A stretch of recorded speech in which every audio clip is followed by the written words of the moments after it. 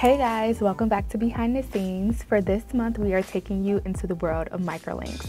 Now, some of you may have heard of this with Caucasian hair, but we found a hairstylist in the DMV area who was doing microlinks for black hair.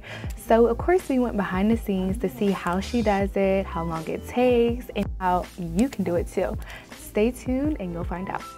Called I-tip microlink um, extensions. These are like pop, most popular method hair extensions for clients that want to have a natural look without, um, you know, going under wigs or full weaves. And these are popular method of hair extensions that are coming, taking back over. They were out years ago, but now they're becoming more of a rave because they are reaching out to a more diverse audience. Now, back in the day, you can only get I-tips for like Caucasian and Asian, and now they're becoming a lot more popular now because we have different textures that are available. So, here we go. So you're gonna put it, yeah, push it up. Make sure you push it up with your finger. All the way up, right. There we go. And then your tool, here we go. And these are the ones you create yourself, right? Well, we were making some by hand. These were actually pre-ordered, so these were pre-made, but these are all hand handmade. Yep. Yep. And then they're, they're attached with a small micro ring. This is a micro bead with a keratin infused um, cushion that protects the hair so that the hair isn't damaged. These extensions stay in sometimes they work from three to six months. So um, it's a very lightweight method and um, very safe method. All the way up. Yeah. Brought to you by Geico. 15 minutes could save you 15% or more on car insurance. Uh-oh. Yeah. Looks like someone's still nervous about dining out. Isn't that obvious? Is it Yes, easy to learn how to do it in like a class, or does it? I mean, for me, and I didn't get to do hands-on when I learned. I was, I was, it was pretty easy. I was definitely, um, once I actually got into someone's hair, I was like, oh wow, this is different. But I got it. I got it. It really, um, it's really a lot more beneficial if you're actually doing something hands-on. But they're really not hard if you are um, licensed or even if you um, have a knack for hair. It's something that you know. I'm a visual person, so I can pick up just by looking. But it's really not hard. But it's really um, good if you actually understand hair and build up a hair. Uh, the science of hair so you're able to maintain and advise your clients properly. You don't want to just put these type of extensions in and they're mishandled or put in any kind of way and clients not advised properly because you know with any hair extensions you have to have some knowledge and you know be able to advise your clients on the do's and the don'ts, proper maintenance and so forth.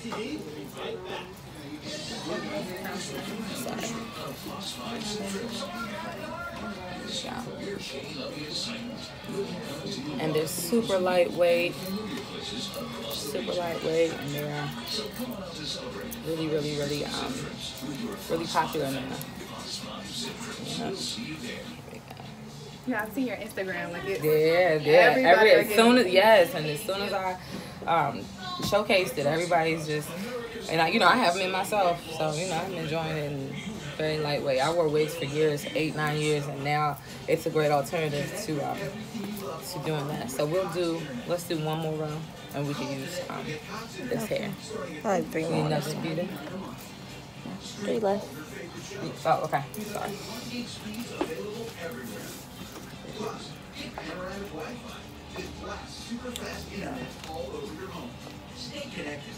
I don't mind if you put me on too. You can put me on this side. Are you, Yeah, I I'm like, care. I don't, I'm not As gonna long get as you all you can way. filter me, you can filter some of this again. This makeup looking a little crazy today, but I just had one of them days. Let CET help you get the training you need for the job you So again, so they can keep it in for about like um, three months. After ten weeks, you're gonna have your client come back, and I'm gonna show you how we do um, maintenance. So you're gonna open the ring, push it up, and then clamp it back down. I'm gonna show you how to do that. But you just definitely want to tell someone that they have to come back after at least about 10 weeks because the weight of the extension, the ring, and the new growth might be a lot of stress on the hair. So you want to make sure that they come back and get their hair properly maintenance. But they treat it like their own. They shampoo it. They, um, you know, do everything that they normally would do. Flat iron, curl, all the above. If they swim, you want to make sure that they um, either put their hair in two braids. They don't go to sleep with their extensions wet. At least they need to um, blow dry or finger finger dry with a blow dry. Don't go to sleep with it. How long does it usually take to do this stuff? Um, start to finish about three hours. Oh, okay. Yeah, three hours. If you need to color it, of course you want to prep the hair before the client comes, so the coloring process can be a little bit more tedious. You need a rat tail comb. So the the prep part, um, you know, of course, take a little longer, but from start to finish to actually apply the extensions, um, about three hours. And that includes time. Once you become more versed and more, I started notice I'm doing them like within like two, two and a half hours. Now that I've got like the hang of it. Yeah.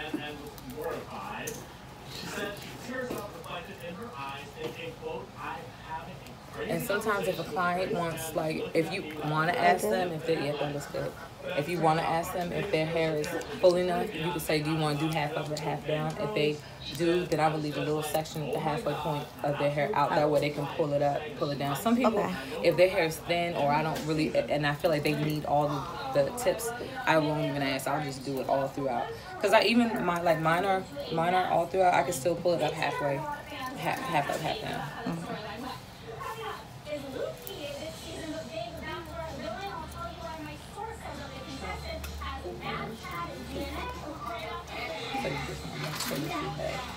I'm gonna ask a common question just to type in my question, okay? Okay. She wants me to ask a Sure, of question. course, please, of course, no. Uh, like one month later, the new hair come out, Yes. then the texture going to be different. Well, this is just for practicing purposes. So, like with this particular model, we want to make sure with anybody that we do that we have texture that matches them. Just because she's training, this will be more appropriate for her because this is her mm-hmm. texture. So when the new growth comes, it will all be consistent because we're gonna have the same texture for the individual. The only reason why they, they're mismatched right now is just because we're practicing. But that's what we do when we do the consult process. Everybody that gets microlinks has to get a consultation because these are important factors that we have to um, factor in. We gotta make sure texture, color, um, density, everything is on the same wavelength, and we have everything from start to finish. Because you don't want to put in a texture that doesn't match the individual's hair, no matter how much they want. Or like, oh, I want some deep wave, give me some curly curl. If you have naturally coarse hair, your hair texture, it, it, it won't suffice. I got to as a professional, I advise you on what's best. We're definitely gonna do something that matches your texture. And, then That's why you've been making your own. yeah, well, I make them because actually ordering from a distributor, getting our hands on these, it takes about 10 days to prepare these, sometimes 10 business days. And sometimes you have a client that walks in like, hey, I want to come in tomorrow. I had somebody come in today saying that. So you have no choice but to go in and make them by hand. So you get loose hair or you'll get track hair and you'll cut it off the weft. And then we have a tool it- it's similar to a flat iron, and we have some glue, and we um, we make it with the, the glue. So uh, sometimes you have some people with specialized preferences. that a, distributor does not make certain types, so we have to. Yep, that's the blue right there. Those are ribbons. All those the, the clear beads, all of those are different types of. These are all different types of glue. So, and I'll show you how how we make them in a minute. So while she does that, I'll show you how we make them. I'm gonna put this on this tray right here. I'm gonna show you an example of how these are made.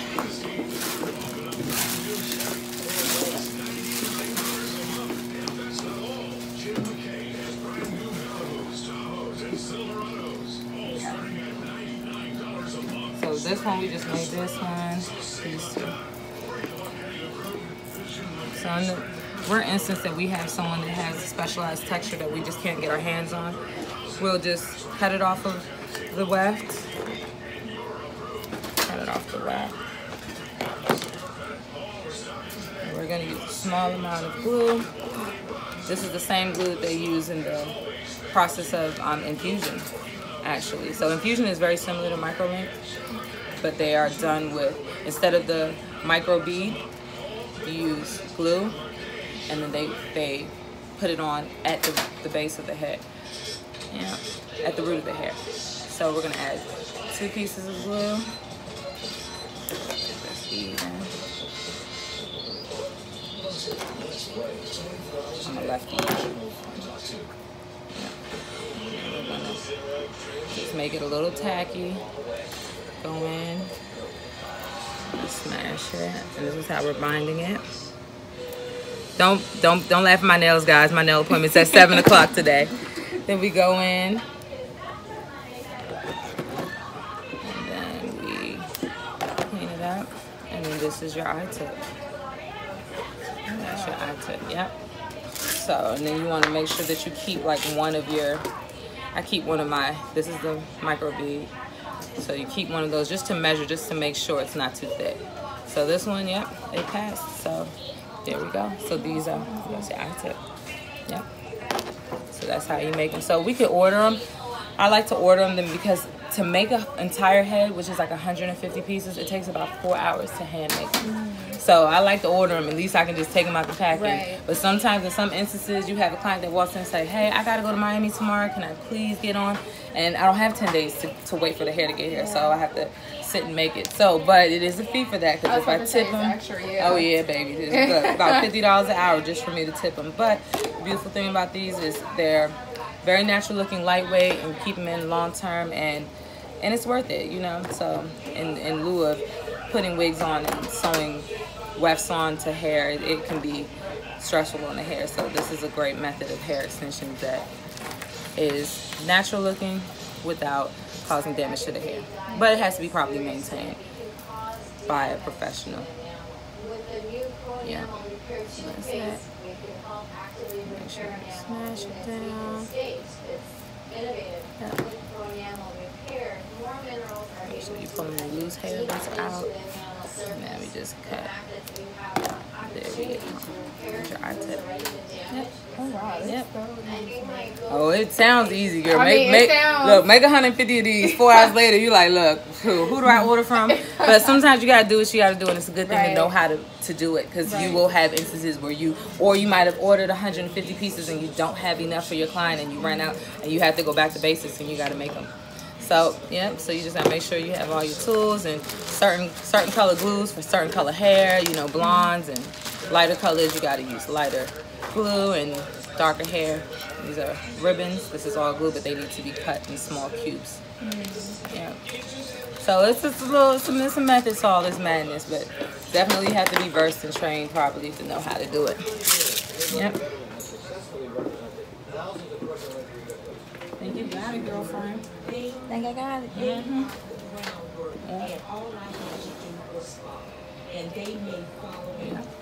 Looking good. Remember to pull it down. Yep, this looks good. Perfect. So you see how the texture, you know, when it grows, this texture matches this hair. So this hair will, everything is going to fall into place. And usually your natural hair in the crown will cover the length. So none of this will be visi- visible. Yep. And again, um, depending on the hair texture, these um, could stay in up to six months as long as they're maintained properly. I've um, seen people keep them in longer, eight months, ten months. But you know, you have to come in and get them. They open them up at the link. I'll show you how that we do this. We open it up after about um, yeah, about two months or so. Open it up. Let me see your tool. So after you um before you shampoo your client's hair, you want to go in. This is before. This is they've it's been two months now. You're gonna take all of their links. You're gonna open it up with the same tool. Mind you, the hair is gonna be grown, so we're gonna pretend that this is where it was. We open it up because this is where when they come in, this is how it's gonna look. This is how it's gonna look in two months. So you're gonna open it up with the tool slightly. You're gonna push it all the way up to the root. You're gonna Before you clean out shampoo or after? before you shampoo. You're gonna clean out all the soot because it's gonna be build up and it's gonna be loose hair because you know the hair is supposed to strand, um, shed 100 strands a day. So you are gonna have some shedding, but it's not, it's minimal and it's normal. Then you go back in, you insert the I-tip, and then you clamp it down. And this is maintenance. So after eight weeks, that's what you do. Yep. Eight to 10 weeks. I say 10 weeks. Yep. So that's it. Yep. So you got it. So when they first get it done, you know it's it's gonna be up there. So when you try to pull it up, it's it might be a little tight. But I always tell them the first day is always a little tender, but then it gets looser. Yep. So yeah, that's it. So the next one we're gonna do is the invisible.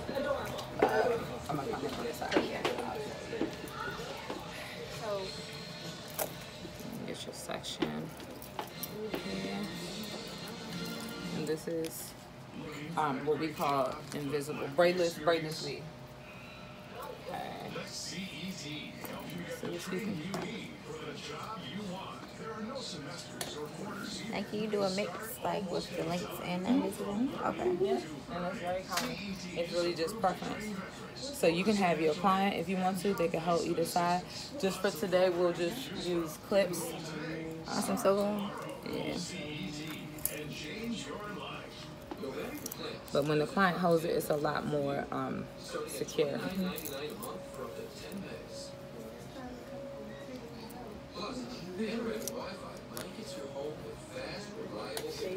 gonna get your puller.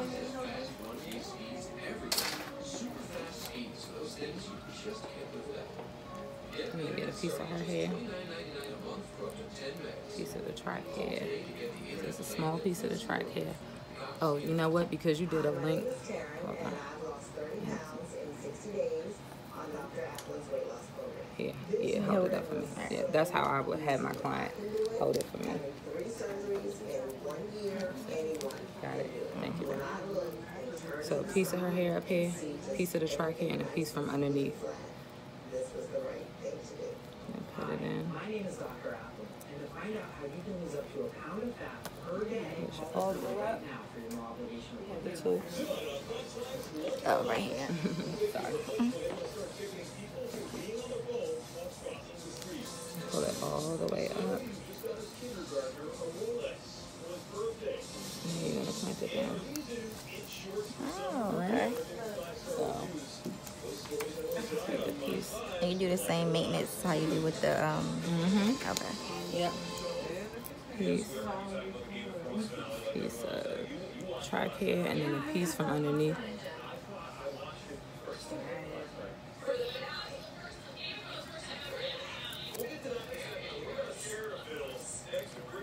And you don't want to have too much hair because it won't go through the puller if it's too much. Pull it up.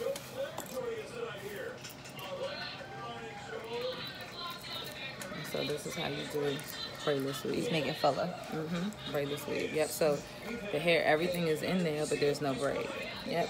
So braidless weave. Piece from the top, piece of the track, and piece from underneath. Yep. Braidless weave. And how many It's really preference. Usually, if somebody's gonna, the client's hair will be all out as well. So you can probably double it, and you could do like a bundle and a half, or you can get two. It depends on how large the client's head is or what their what their request is. Some people just want some for fullness. Some people want some for length. So if somebody wants it for fullness, I'm gonna try to get as much as I can get in. So probably about a bundle and a half. But you gotta keep in mind that their hair is gonna be out too. So getting two or three bundles in it probably won't really happen. So it's just different methods for different types of looks that individuals want. If somebody wants something really, really cool, like three bundles, I'm gonna suggest going ahead and get a, a sew in versus yeah, versus doing um, track by track.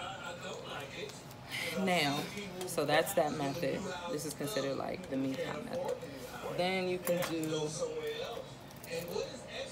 There's one where you take these out. Take them out. And this is how you do. Um, you you're gonna incorporate thread with this one. So you will go in and you would get your section. You would beat it.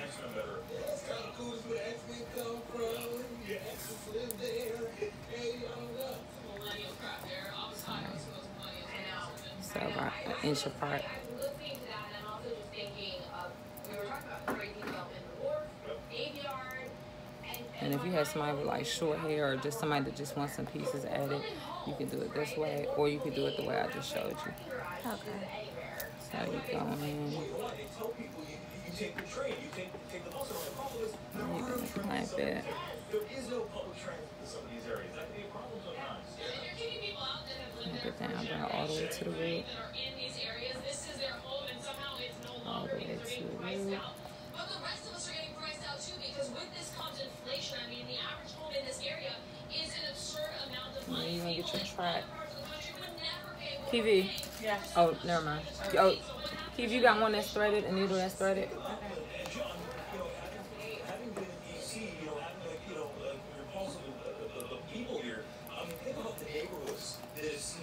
change. Oh, oh, you know, if you look at Shaw, which all the time. You know, your average, average like Thank you so much, baby.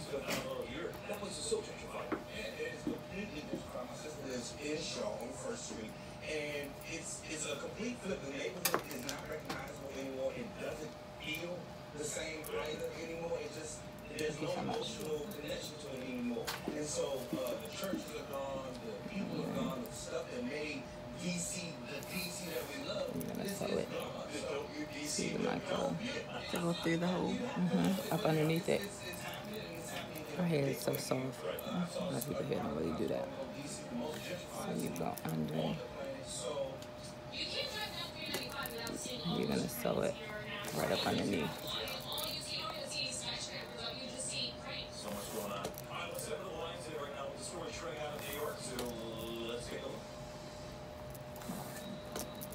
And this is another method of braidless weave with no braid. Just going.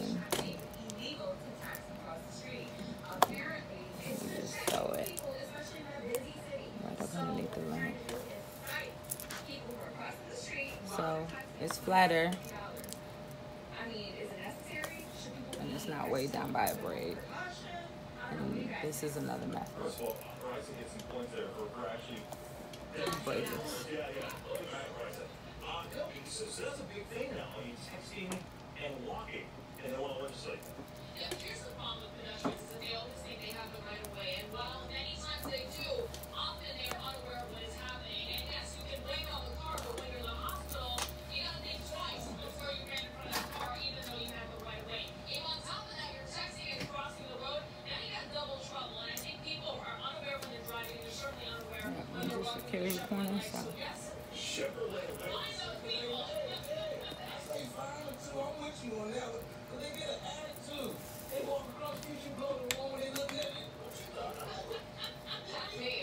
thought? and stay in for. I had a client that came in and said she had hers in for 10 weeks. So, this is from the, that's from the last one. That's not. Oh, okay. Just makes it more flexible. Mm-hmm. Yeah, and flatter. Yeah. So, and then no braid. So, some people just want it flat with no braid. So, that's a method of braidless weave. All right.